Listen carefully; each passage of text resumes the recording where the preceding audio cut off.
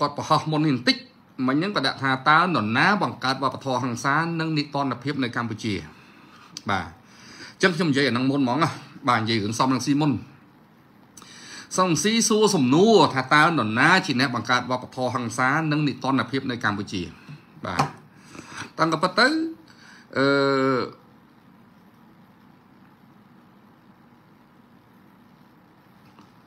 ការបង្កើតវប្បធម៌ហិង្សា និងនីតិរដ្ឋភាពនៅកម្ពុជានឹងអត់បាច់សួរណាទេគឺសំរងស៊ីខ្លួនឯងនឹងហ្មងអ្នកបង្កើតបាទណាខ្ញុំមិនបាច់ទៅរៀបរាប់អីណាណីទេហើយសំរងស៊ីនឹងឯងជាអ្នកញុះញង់បង្កើតឲ្យមានអំពើហិង្សាគ្រប់ទីកន្លែងនៅក្នុងទីក្រុងភ្នំពេញហ្នឹងជំនាន់ដែលគាត់ធ្វើនយោបាយហ្នឹងគឺគាត់អត់មានមកធ្វើអីទេក្រៅតែពីបំផុសមនុស្សដែលខ្វះការអប់រំហ្នឹងឲ្យប្រើអំពើហិង្សា ខ្ញុំលើកឧទាហរណ៍តែមួយទេមួយពីរនេះទី1នៅពេលដែលក្រោយបាតកម្មម្ដងម្ដងបាទគឺគាត់តែងតែ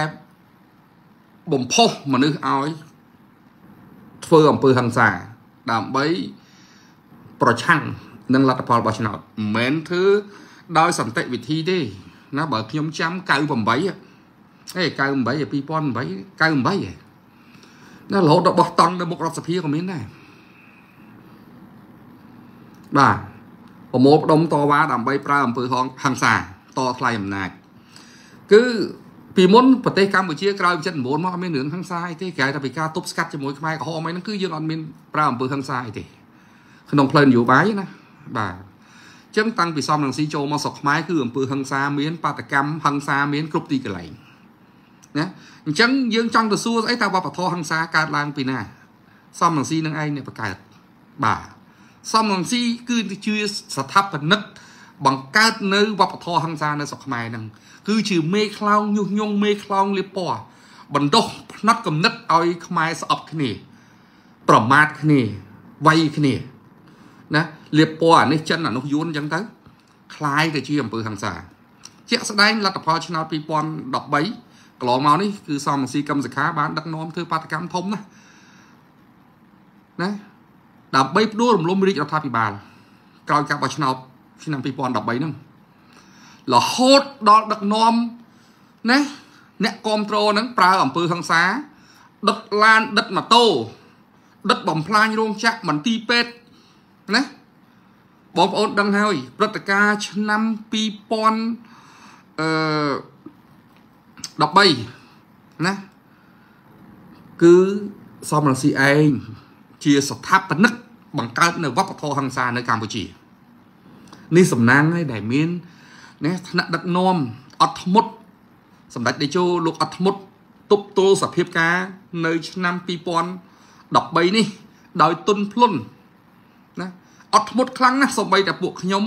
ជាអ្នកគ្រប់គ្រងក៏ទ្រាំមិនបាននឹងការធ្វើសកម្មភាពព្រៃផ្សៃរបស់ សំរងស៊ីនិងកឹមសខាដែរ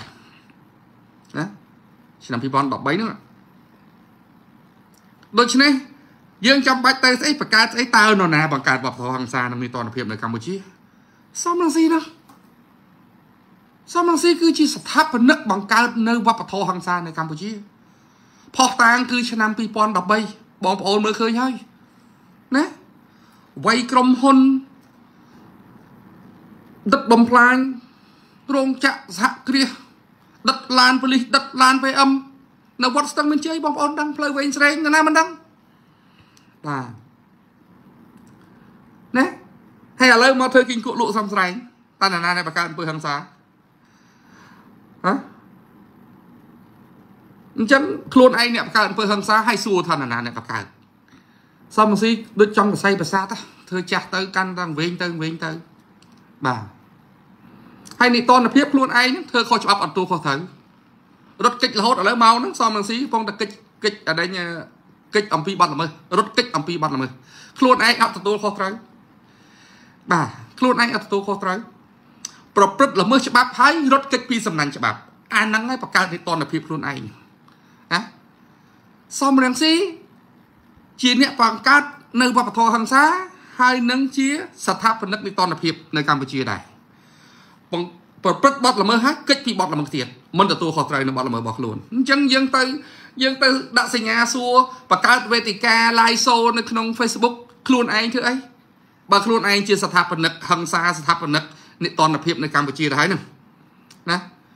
មិនមែនខ្ញុំគ្រប់គ្រងរដ្ឋាភិបាលខ្ញុំផ្កាប់មុខទេណាតែលោកឯងមើលខ្លួនឯងទៅបងប្អូនយើងមហាជនប្រជាជនយើងមើលទៅព្រឹត្តិការណ៍ឆ្នាំ 2013នរណាអ្នកប្រកាសអំពើហិង្សានរណាអ្នកដឹកនាំបាតកម្មដើរវាយរោងចាក់សហគ្រាសណាដិតឡានដិតម៉ូតូពេញទីក្រុងភ្នំពេញណាណែស្ពានអាកាសក្បាលខ្នល់នងគ្នាឡោមពាត់ទីស្នាក់ការបលិសណាដំបូងយើងប្រើរូបភាពអស់ឆ្នោតសំរងស៊ីប្រើរូបភាពអស់ឆ្នោតចូលរួមអស់ឆ្នោតបោះឆ្នោតចាញ់ប្រើនៅអង្គើហ ংস ា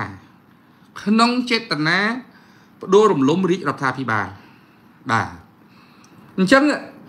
សំរងស៊ីឆ្លើយថាអឺសួរថានរណាបង្កើតអង្គើហ ংস ាវប្បធម៌ហ ংস ានៅកម្ពុជាសំរងស៊ីខ្លួនឯងហ្នឹងឯងណាយើងមើលផ្លូវវែងស្រេងឆ្នាំ2013ណាណាអ្នកបង្កើតដឹកនាំបាតកម្មពេញទីក្រុងភ្នំពេញដិតឡានបលិសដិតឡាន PM ណា ដិតមន្ទីរពេទ្យវាយបំផ្លាញក្រុមហ៊ុនគេបំផ្លាញរោងចក្រគេតើនរណាមិនសមនឹងស៊ីមិនកឹមសខាអញ្ចឹងបើខ្លួនឯងជាអ្នកបង្កើតនៅអង្គើហឹង្សានេះឲ្យសួរថានរណាអ្នកបង្កើតបាទរាជរដ្ឋាភិបាលពេលនោះគ្រាន់តែប្រើតួនាទីនិងភារកិច្ចក្នុងនាមជាកម្លាំងមានសមត្ថកិច្ចបង្ក្រាបនៅអង្គើហឹង្សាទាំងអស់នោះទេណាអត់មានអដែង រដ្ឋាភិបាលណាទៅប្រើអំពើហិង្សាទេធម្មតាអ្នកឯងធ្វើបដិវត្តផ្ដួលរំលំរាជរដ្ឋាភិបាលបើមិនបង្ក្រាបអ្នកឯងមិនអនុវត្តវិធានច្បាប់ទុកឲ្យអ្នកឯងផ្ដួលរំលំរដ្ឋាភិបាលដោយស្រួលបាទអាហ្នឹងយើងនិយាយឲ្យវាត្រង់អញ្ចឹងណាខ្ញុំមិនមែនកាន់ជើងណារដ្ឋាភិបាលខ្ញុំផ្កាប់មុខជាមួយទេតែយើងនិយាយអីដែលមើលឃើញបាទហើយនិតនភាពនិតនភាពខ្លួនឯងប្រព្រឹត្តបទល្មើសឲ្យរត់គេចទៅរហូតណាឥឡូវរងថ្ងៃគេចទៅសុខរាំងអត់រហមទទួលទោសទេ ណាអញ្ចឹងបានខ្ញុំឃើញមុននឹង live show ខ្ញុំឃើញសំរងស៊ីប្រហោះអាហ្នឹងខ្ញុំគាត់ណាចង់ឆ្លើយប្រាប់ទៅគាត់បន្តិចអ្នកបង្កើតអង្គើហឹង្សាក៏ដូចជារឿងនិតនភាពហ្នឹងអត់មានណាទេសំរងស៊ីនឹងឯងជាស្ថាបនិកទាំងពីរហ្នឹងទាំងអង្គើហឹង្សាទាំងនិតនភាពបាទអញ្ចឹងបំភ្លេចសំរងស៊ីចោល